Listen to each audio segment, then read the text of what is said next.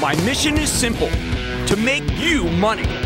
I'm here to level the playing field for all investors. There's always a bull market somewhere, and I promise to help you find it. Mad Money starts now. Hey, I'm Cramer. Welcome to Mad Money. Welcome to Cramerica. I'll be want to make friends. I'm just trying to make a little money. My job is not just to entertain, but to teach. And I'm telling you, I'm going to do a lot of teaching tonight. So call me at 1 800 743 CNBC or tweet me at Jim Cramer. Tough days do not last forever. But when they come along, you need to know how to respond. You need a game plan ready so you can figure out what kind of sell off we're dealing with and then react appropriately. Because the early days of decline are never easy to navigate. You need all the help you can get. To borrow a line from Tolstoy's fantastic Anna Karenina, all happy rallies are alike. Each sell off is unhappy in its own way. It's true. Bull markets send stocks higher, and everyone thinks they're genius participating because it seems so darn easy. Same every time. But big declines, much harder. They could be the start of a bear market, or maybe something worse. Or they might actually be just a buyable glitch. That's why tonight we're turning to history to illustrate some of the common qualities of sell offs so you know what to do the next time the market has an inevitable moment of weakness. Now, really, there have only been two truly horrifying sell offs since I started investing over four decades ago the one day crash of 1987 and the rolling crash of 2007 to 2009. That was the financial crisis. Do you know what? Even the COVID crash, when the S&P lost uh, SP 500 lost 35% of its value in just over a month. That wasn't nearly as bad as these two, especially when you remember that the market started rebounding almost immediately. So let's deal with the two big ones head on because they make for great examples. 1987 and the financial crisis are actually polar opposites, although the percentage declines were really pretty similar. On October 19, 1987, also known as Black Monday, the Dow Jones Industrial Average fell 508 points, or more than 22% in a single session. I was trading that day, and even the previous week had been one of the worst weeks in market history. Black Monday hit fast and hit hit hard. It felt there were no buyers to be found from Dow 2,246, where the crash started, to Dow 1,738, where at last it ended that day. It kept tumbling right into the close. I remember thinking, saved by the bell, except it felt like there wasn't that much money left to be saved. But most people don't remember that the week before was horrendous, too. The Dow had already plunged from 2,482 to 2,246. That's nearly a 10% decline. That harsh pullback encouraged bargain hunters, intrepid souls who thought they could flip into uh, in, in Monday morning into some strength. You bought Friday, flipped it on Monday, except the strength never showed up, and they got badly burned. In fact, the weakness continued into the next day. You know, that day became known as Terrible Tuesday, where the Dow kind of just broke down entirely. The market simply stopped functioning. But you know what? I was there. And I was actually able to calculate that bottom. The bottom turned out to be about Dow 1400. That was down another 122 points, or about 7% from where we closed on Black Monday at the end of the day. It was all just, I pieced them together one by one. And people didn't think it ever went down below Dow 1600, but they were wrong. Then Fed Chairman Alan Greenspan stopped the decline in his tracks when he said he'd provide all the liquidity necessary to stabilize the market. Now, I still remember that green line when it came over your screen. He enlisted multiple firms around Wall Street to help put in the bottom, and the market staged a remarkable two day rally that took the Dow up more than 400 points from its lows. It seemed pretty unbelievable at the time. The effects of the crash lasted for just three months when we had a retest that held. But do you know that it took until mid 1989 for the averages to return to where they were trading before this big breakdown? The bear market that began in October of 2007 was a totally different animal. Dow fell from 14,198, uh, uh, 1,198, so it was 14,000. Remember, the other one was 2,000, 14,000. And it didn't bottom until March 6th of 2009 when it landed at a staggering 6,470. We didn't return to that high 2007 level until March of 2013. Why did one sell off end so quickly while the other took six, week, six years to unwind? Well, that's the question that defines the two extremes of unhappy sell offs. See, Black Monday was a mechanical sell off, the first one I can remember where the averages melted down because of pure market dysfunction. It's instructive to unpack Black Monday because the way it played out was reminiscent of two other crashes the flash crash of 2010 and its doppelganger in 2015, both times when the market simply failed to work. Now, all three of these started the, with the S&P 500 futures pits in Chicago. See, Chicago overwhelmed Wall Street in New York, where the stocks underneath the futures are traded.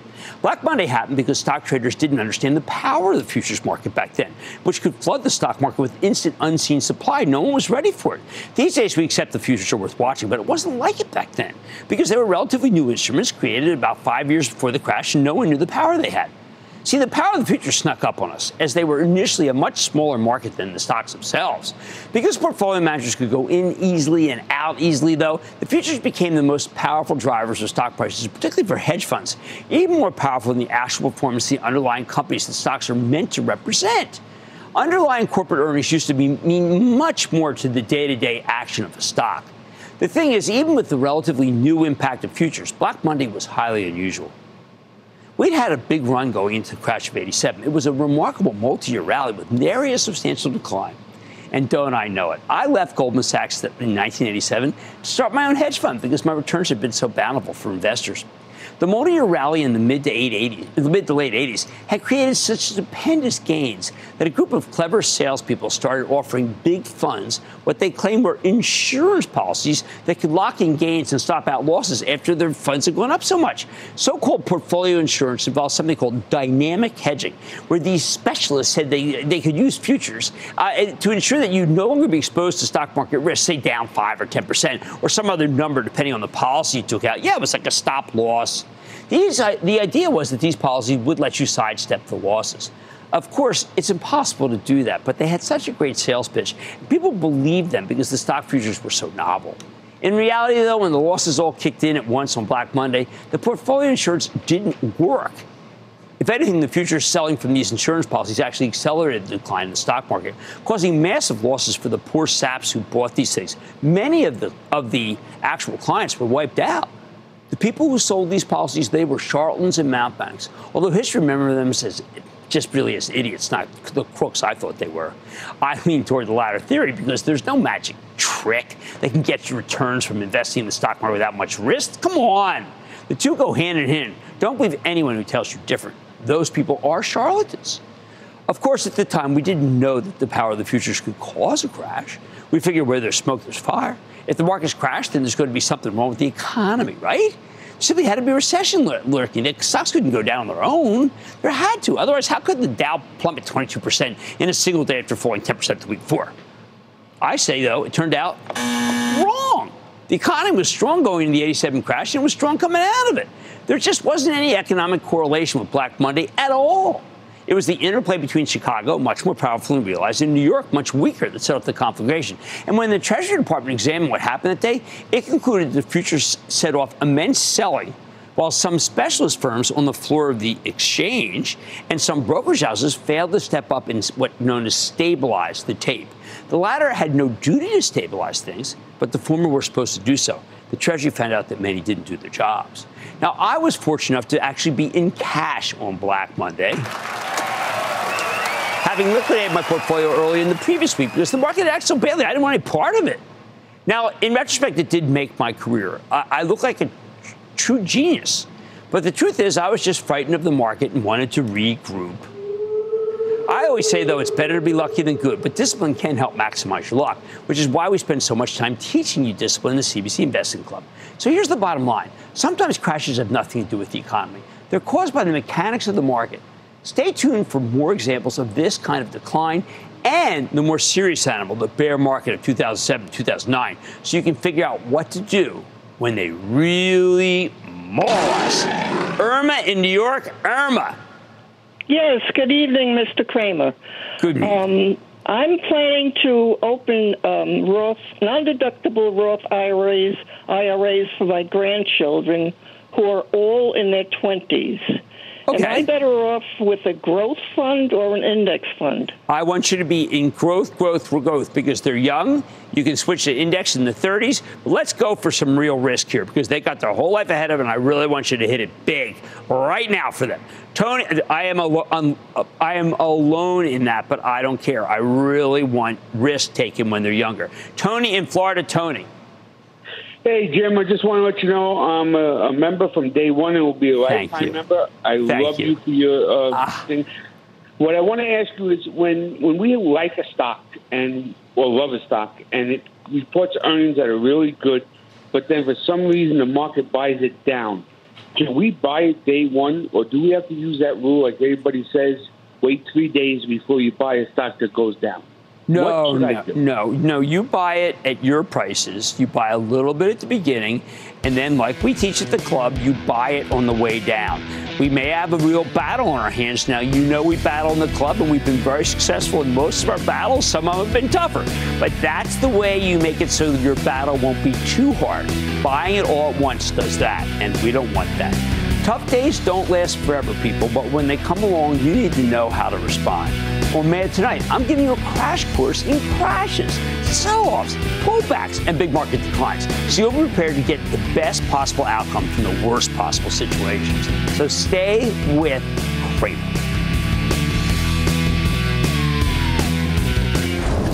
Don't miss a second of Mad Money. Follow at Jim Cramer on X. Have a question? Tweet Cramer. Hashtag Mad Mentions. Send Jim an email to madmoney at cnbc.com or give us a call at 1 800 743 CNBC. Miss something? Head to madmoney.cnbc.com.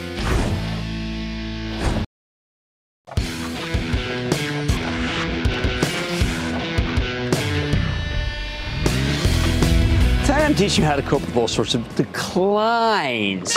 I already covered the crash of 1987 and how it wasn't really related to the economy. Shocker. So it made sense to buy stocks when the smoke cleared. 1987 was a rare opportunity that took a little time to reveal itself, but when it did, ooh la la. It was also the first instance of the S&P 500 futures exercising their pernicious power over individual stocks. Sadly, it was the first of many. Which brings me to the fabled flash crash of 2010. One of those negative moments that drove away so many investors who never came back to stocks because they didn't know their value could be destroyed so quickly, almost whimsically. Who wants to keep their life savings in instruments that can blow up in the blink of an eye? I, look, I don't blame anyone for not wanting to be in after the flash crash. What happened that afternoon was pretty much the same deal as Black Monday of 87. The futures overwhelmed the stock market and buyers just walked away, betting that there had to be something substantive behind the destruction, right? Couldn't, couldn't just be the machines breaking down for heaven's sakes, could it? The flash crash started at 2:32 p.m. on May 6 of 2020 of 2010. It lasted for 36 minutes. In that 36 minutes, the Dow fell almost 1,000 points from roughly 10,000 level. Very memorable for me because I had to be on air at the time. Immediately, money managers tried to play the pin the tail on the sell-off. There were riots in Greece, and maybe this time was everyone was focused on Southern Europe thanks to endless sovereign debt crises. Others pinned it on the newfound weakness in the U.S. economy, of which, for the record, there really wasn't any. Perhaps because I had the benefit of trading on Black Monday, I recognized the flash crash exactly for what it was. Another situation when the machines were breaking as the futures overwhelmed the stocks. It wasn't the fundamentals. We didn't know it at the time, but a gigantic error in sell order caused tremendous fear that spread like wildfire.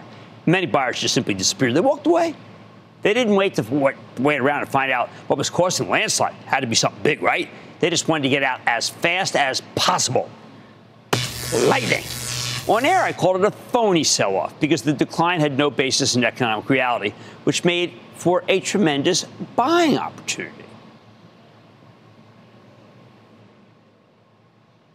That is not a real ago, price. it's too bad. The system obviously broke down. We're we going to find out that there was a glitch in the from there was a glitch in the tape. the machines happened. failed, and it obviously yeah, broke the down. Market just it obviously broke down. Points in about no, the market minutes. didn't work. It broke down. The machines broke down. That's what happened.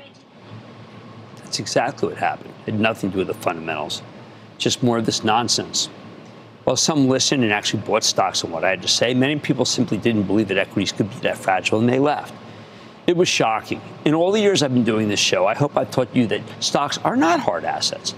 They are subject to all sorts of whims that can reduce their value in a heartbeat, including mechanical issues like we saw during that 36-minute sell-off. They're just, they're just not perfect enough, and people think they are. Anyway, the market quickly regained its equilibrium, but not before another round of individual investors left the asset class entirely, and they never came back. Okay, how about August 2015 sell-off, where the Dow fell 1,000 points right at the opening? Now, that one was seemingly related to fears that the Federal Reserve was just to raise interest rates right into the teeth of still one more story about the China market collapsing. Hey, China's been collapsing for ages, right? Back then, the Chinese market was the most dominant negative story out there. Kind of, you know, it's always been out there, but the whole economic edifice of the PRC could collapse from too much leverage at any given time. It's been a common refrain. Somehow I find myself on air at all the right times to witness these events. That Friday before the sell had been it had been a monstrously ugly day as a Fed official late in the afternoon had suggested it was time to raise rates despite the Chinese sell-off. It was an aggressive statement that demonstrated a cavalier attitude toward the market's ugly but also fragile mood. Now, when we came in on Monday, August 24th, we heard that there were some very large sell orders in place for major stocks. We weren't ready, though, for the gap downs we saw, where large capitalization stocks were shedding hundreds of billions of dollars of value, many down 20% as the market opened, and we had no ability to tell why.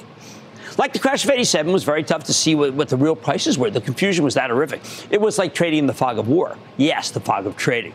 Some prominent stocks looking they were down 40, 50, 50%. It was indeed crazy town.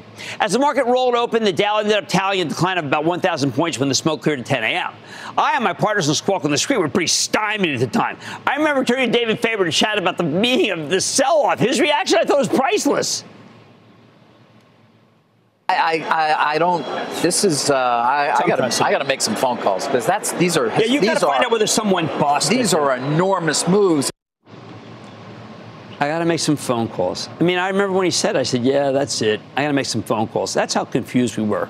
That's how wrong we knew it was, but you can't just go out and say it's wrong. Again, we figured there had to be something very bad in the economy. Somebody knew something we didn't, something mysterious, something otherworldly, something nefarious. Maybe China had actually collapsed. Maybe there was war somewhere. Maybe something occurred in Europe we didn't know about. We had to be assume there'd be a good reason for that kind of decline. I was suspicious, though, because some of the hardest hit stocks were the recession proof names, especially the biotechs, which for some reason declined harder than almost all the rest of the market. Now, that really made no sense. That's exactly what people buy when the economy softens up, for heaven's sake. They are safe havens. Once again, I suggested it was the machines that were causing the problem, that the futures had overwhelmed the stocks and the computers had gone haywire, just like 2010, just like the flash crash. By mid morning, we learned that that was exactly the case, and the stock market then underwent a beautiful metamorphosis into a furious rally, jumping 500 points from the bottom.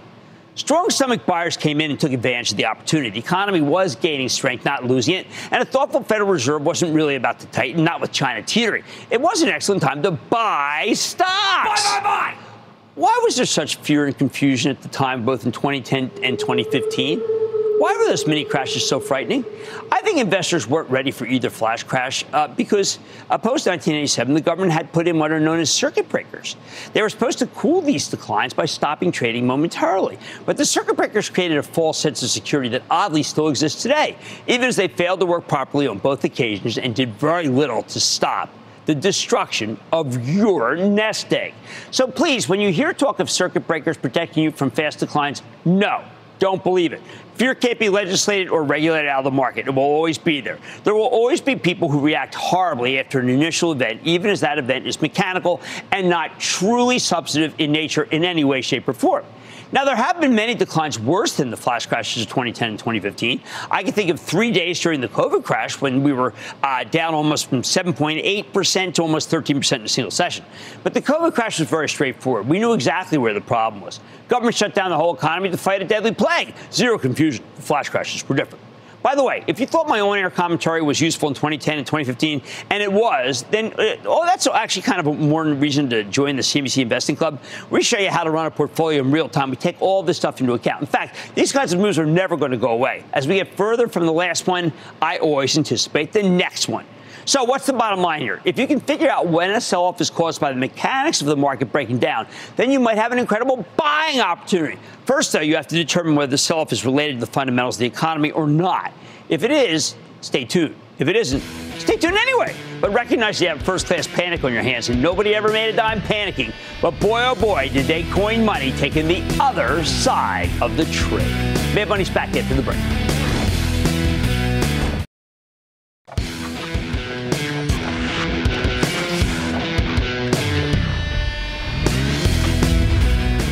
Not all days are winners in the market, and knowing how to handle the down days is key. We have you covered good and bad days here on Mad Money, and there are lessons in the really bad days that can help. So let's set the stage. Back in October of 2007, the Dow peaked at a little more than 14,000 after the Fed had raised rates over and over and over again, 17 times. And the economy, after cheering for just a bit, fell off the cliff, took the stock market with it.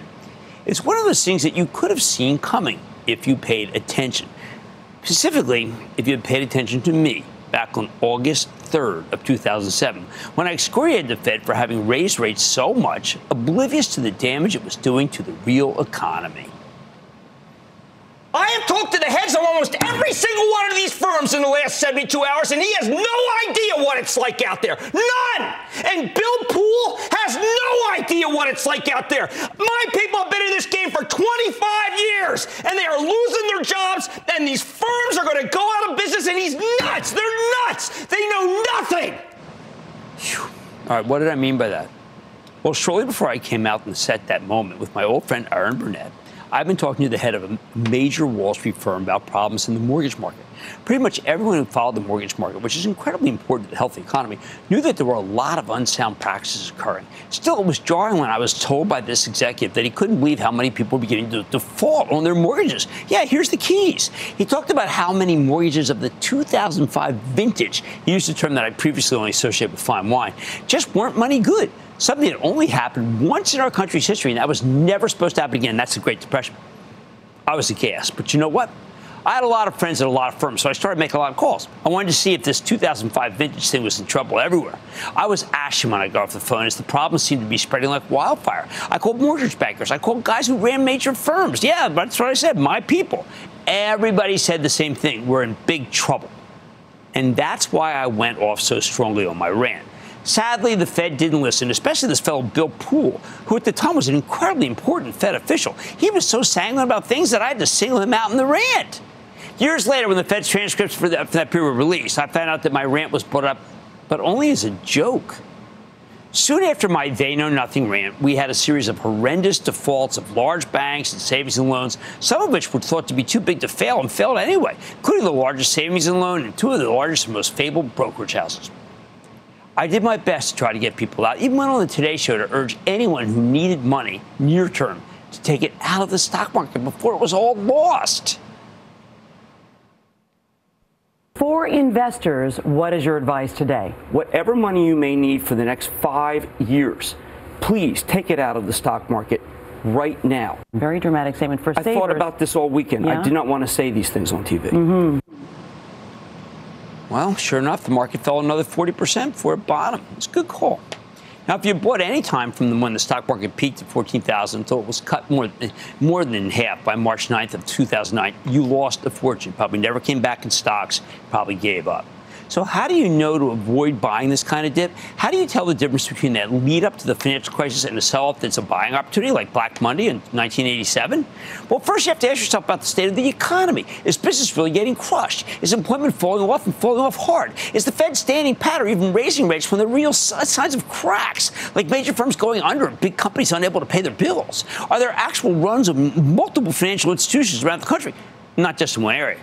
If the answer is yes, then you have a decline that could be joined at the hip with the real economy, one that has true systemic risk. That's the term, meaning that the entire country could collapse. That's how it was during the financial crisis. It's why I got so angry when people say, hey, this is going to be like, I get angry every time. Oh, it's going to be as bad as 2007, 2009. When there's, of course, nothing like that occurring. Because, like I said, only twice in 80 years has it occurred. Even the COVID recession wasn't as bad because the moment we got a viable vaccine, everything immediately roared back to normal. We heard about systemic risk when some of the regional banks went under in 2023, but within a few months we were over it. So if you're worried about systemic risk, the odds are you're worrying too much. Second, you want to know if there's anything in place that can actually save the economy or turn it around. That's important too. Our elected leaders did very little to soften the blow of the financial crisis. What brought the market out of its funk was a statement by then Fed Chair Ben Bernanke. It was a forceful statement made on 60 Minutes, no less, that he'd no longer let American banks go under. Boy, he was letting them go under left and right till then. He, we, we had watched, the Fed was just sitting on its hands. But the moment Bernanke decided that, he needed, that something needed to be done, the stock market bottomed. Were there ways to spot the bottom? I got a couple of signs that can help. There's a proprietary oscillator I watch and I rely on it very heavily for the CNBC Investing Club. It's a paid subscription product, measures buying or selling pressure. When you get a minus five, that indicates there's mo- most likely too much selling. Hey, when you get a minus 10, well, you got to do some buying, even if everything seems horrible. We were getting signals that things were much worse than that near the bottom in 2009. Another way to look at it, I got one. I like to see who's been pessimistic or concerned about stocks, but is reluctant to say anything positive, who then changes his tune. The best example of that kind, of that big switch, came from the late great Mark Haines, who had this to say back then. I'm going to step out on a limb here. Uh, this I is really, the big. Hold on, I, everyone. We've been I, waiting for this. I think we're at the bottom. I really do. I think we're going to have a rally. There we go. Man, unafraid to make a call. And, and well, hey, I don't Mark, know whether it's going to be a bear market this, rally, but I think, in least, other words, I think today this is for real. Man, what a call! Look at that, March 10th of 2009, the day after Bernanke was in 60 Minutes. Just a huge contrarian call from someone who hadn't been willing to make one until that moment. Best call I've ever seen. Now, it certainly made a ton of sense to sell when I said to sell in October of 2008. But before you say to yourself, what happens if no one warns you again the next time? Well, I got, you know what? I got some good news for you. It's a little sobering, but it's good news. If you waited long enough, six years to be exact, you actually did get back to where you were before the bear market began. All right, six years. But if you sat tight in the worst market in living memory, you eventually got back to even and went on to make a killing. Yes, it would have been better to take something off the table in 2008, like I told you to, but a lot of people struggled to get back in at a lower level because they got burned out of the whole asset class. They, they did worse than the ones who simply sat tight. So here's the bottom line the financial crisis gave us a once in a lifetime bear market with true systemic risk, but that's the exception, not the rule. Let's take questions. Let's go to Stackwell in Washington. Stackwell. But, but, but, booyah, Jim. What's well, going Stackwell. on, man? I don't know, having a cup of water right now. What's going on with you? Oh man, you know I'm trying to have a cup of water. We got a lot of bad weather out here. Man, we're trying to get it together. Um, I can definitely say we got to give a big shout out to you from the Great Northwest, though, Jim. You're doing a great Done. job. Done. Done. Thank you. I'll take that okay. shout out. Now, now, because we get a lot of advice from all around the world, I figure like this: if you want good bread, you might as well go to a qualified baker. So, what I want to go and say to you, man, is that I'm curious is your feelings on using high yielding dividend stocks as a form of investment because the reason I'm asking is I like to know that if you feel they're too risky or if they cut dividends down or lose market value, are you going to be hit? And if you do agree, is there a barbell approach or can we take a balance in our in our portfolio a certain way that you feel? Stackwell, I love it. I love it. I love it. Now, I don't want to reach. I don't want uh, dividends that are so high yielding that something's fishy. What I want are very solid companies with good balance sheets that pay dividends that we reinvest constantly.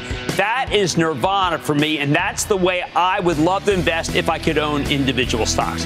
The 2008 financial crisis gave us a once in a lifetime bear market with true systemic risk. But you have to remember, that's the exception, not the rule. Much more mad money ahead in this special show. I'm giving you a flash crash survival guide with some takeaways from the crashes of 2010 and 2015 and the best ways to profit from market pullbacks. Then I'm answering all your birdie questions with my colleague Jeff Marks. So stay with Cramer.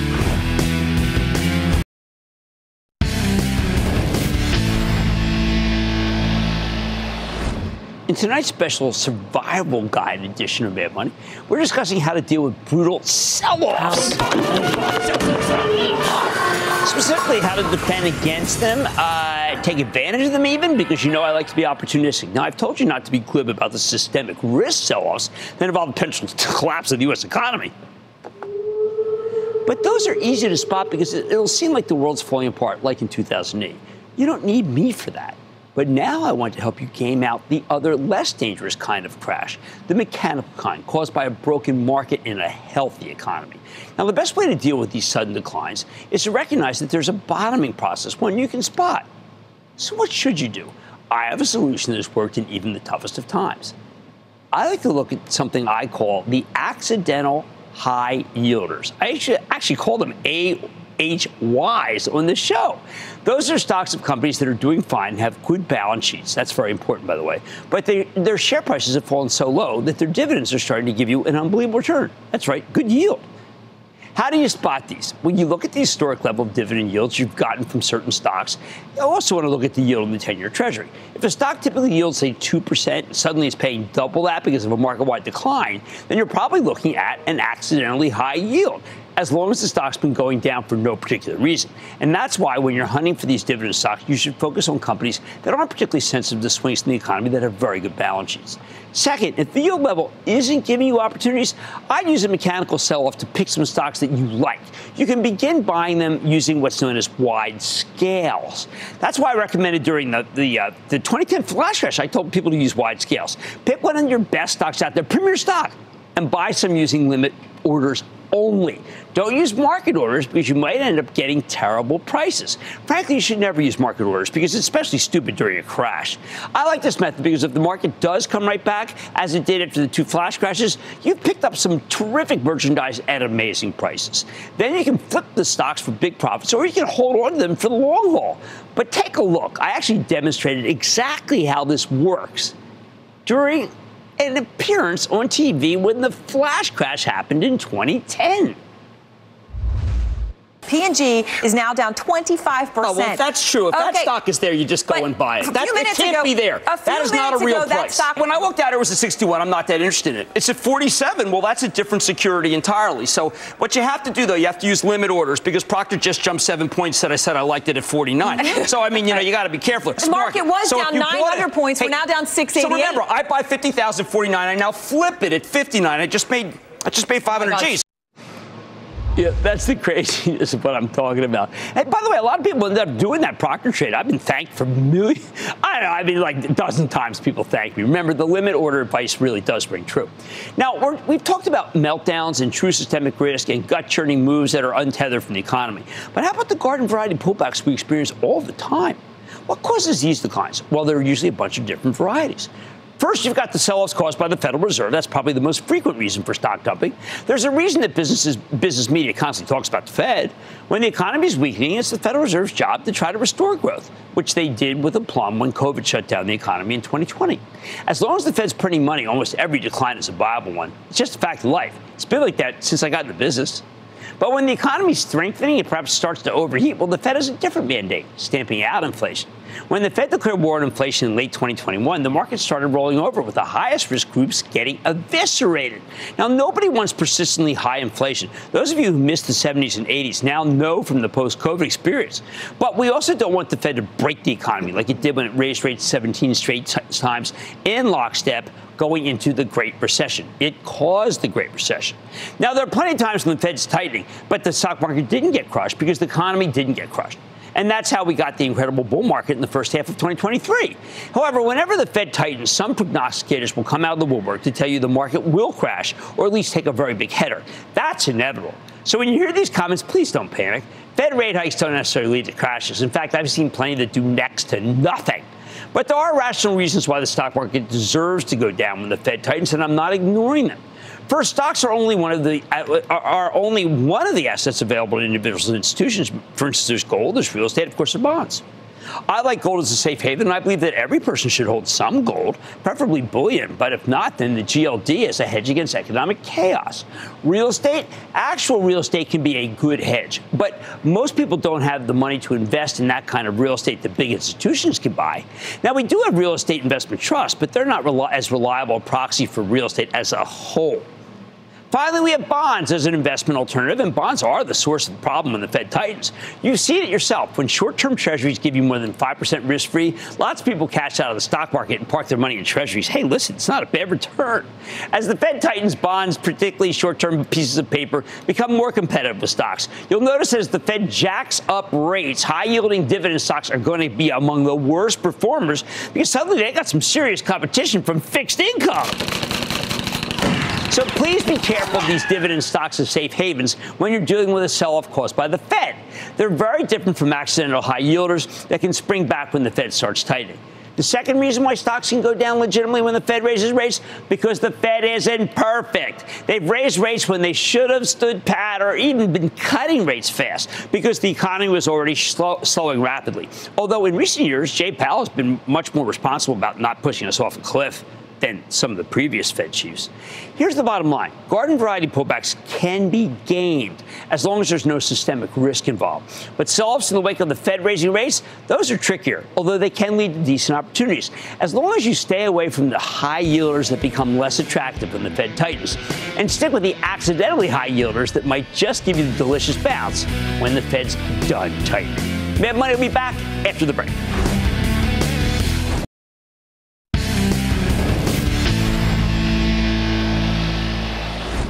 Tonight, we're talking sell offs. Specifically during this block, what causes garden variety pullbacks. Many times the problem is indeed the Fed, as I mentioned before the break, but sometimes there are other issues that are driving the carnage. For starters, there's the issue of margin as a former hedge fund guy, I'm well aware that there are many times when money managers borrow more cash than they should. So when the stock market goes down, they don't have the capital to meet the margin clerk's demands. These kinds of margin induced declines have repeatedly happened, including, say, February of 2018. That was a good one when funds that had borrowed money to bet against stock market volatility, the so called VIX, got their heads handed to them. They were short the VIX, betting the market would remain calm, stupid. And at the same time, they bought the S&P 500 using borrowed money. Again, real stupid.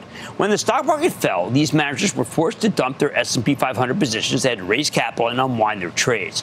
There were so many managers doing this at once that their selling ended up causing some severe market-wide losses. Sell, sell, sell, these margin-induced breakdowns often occur after the market's down for several days in a row. That's why I'm often reluctant to tell you to be aggressive in the first few days of a big decline, because there always be margin clerks against these managers, uh, you know, who buy, buy stock with borrowed money, and it doesn't happen immediately. They got to have to keep chopping. How do you spot these margin call-driven declines? You know what? I use the clock. Margin clerks don't want their firms to be on the hook for overstating individuals, uh, for overstretched individuals, or for hedge funds. They want to get out before the night. So margin clerks demand the collateral be put up, raise some cash, or they sell you out of your positions without your say so. I always consider the margin clerk the butcher and the butchering occurs between 1 and 2 o'clock. If the selling runs its course by 2:45 p.m., yes, I find it's actually that specific. Then I think you have a decent chance to start buying safety stocks, the kinds of stocks that tend not to need the economy to be strong to advance, like the health cares. You might also want to buy the secular growth plays that work in any environment, mega cap stocks. I thought, I look, I talk about them all the time, especially to members of the CNBC Investing Club, because we like to own the best ones for the Charitable Trust. What else can create viable opportunities? Sell us from overseas. I cannot tell you how often I've heard commentators who scare the bejesus out of us because of imported worries, say from Greece or Cyprus, Turkey, Venezuela, Mexico, countless other places. I always tell you to ask yourself do any of these woes truly impact the stocks of the American companies in your portfolio? Do they really make you want to pay dramatically less for an individual U.S. stock? Usually the answer is no. Unfortunately, though, you can't just start buying stocks hand over fist into an overseas driven sell off. You should always assume there are people who don't understand how unimportant these worries are in the vast scheme of things. And of course, those people are going to panic and sell, sell, sell. after you would have thought they would have known better. That's why these international declines often last for three days. Again, the best way to figure out if they're done is to watch the clock, as the sellers usually need to be margined out against their will if there's going to be a bottom. Another kind of sell off, the IPO related decline. Remember, at the end of the day, stock markets are markets first and foremost, and markets are controlled by supply and demand. So if the bankers start rolling out lots of new IPOs and then these companies sell more shares via secondary offerings, you could end up in a situation where there's just much too much supply and not enough demand. By the way, we saw this near the end of 2021 after we've been drowned under the weight of 600 odd IPOs and SPAC deals. Oh, so, so, man. Don't buy, don't buy. My suggestion avoid the blast zone, the area where most of the new IPOs are concentrated, and focus on the stocks that are down due to collateral damage, especially ones with yield protection. Sometimes we get declines triggered by multiple simultaneous earnings shortfalls. Oh, you got to be real nimble with these. If you want to buy stocks after an earnings induced pullback, isolate the sectors where the shortfalls are occurring and avoid them like the plague. There's no reason to stick your neck out here. Instead, buy unrelated stocks that have been hit by the much broader selling via the S&P 500 futures. Then there's the trickiest kind of risk, one that's truly Tolstoy-esque, political risk. I often find this risk tremendously overblown, uh, whether it's because of strife between parties or trade policies or even all-out war risk. I am not a political guy, and I hate talking about this stuff on air and off air. But with every stock you own, you need to ask, does this company have direct earnings risk when it comes to Washington? If not, then you've got nothing to worry about. However, if you own something that's directly impacted by, say, a trade dispute with China or a government shutdown, well, it could turn into a house of pain. I know political risk is enticingly negative because, well, there are so many pundits everywhere waiting in and giving you two cents. I think these guys want to scare you. My suggestion, tune it all out, please. Instead, look for companies that have nothing to do with the political fray, even as their stocks may be brought down by it.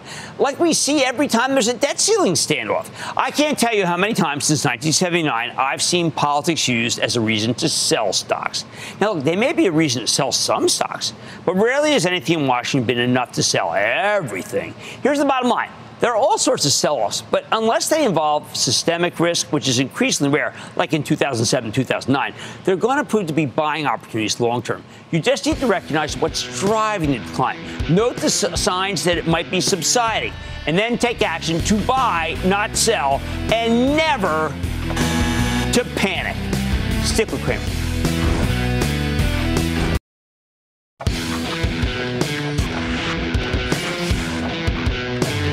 I always say the favorite part of this show is answering questions directly from you. And so tonight I'm bringing in Jeff Marks, my portfolio analyst and partner in crime, to help me answer some of your most burning questions. For those of you who are part of the investing club, which of course I want you to be, he'll need no introduction. For those of you who aren't members, though, I hope you will be soon. I would say that Jeff's insight and our back and forth helped me to do a great job for all Mad Money viewers and, more importantly, members of the club. So if you like this, be sure to join the club. First up, we're taking a question from Peter, who asks As a younger investor that is able to add funds to the market biweekly when paid, and the trust having a set amount of funds, how do you recommend putting your new money into work? Well, frankly, Jeff, as you know, it doesn't really matter that we have a set number of funds. I always remember when my late father would look at the at the list and say, Listen, I'm not going to buy all these, which he was never supposed to.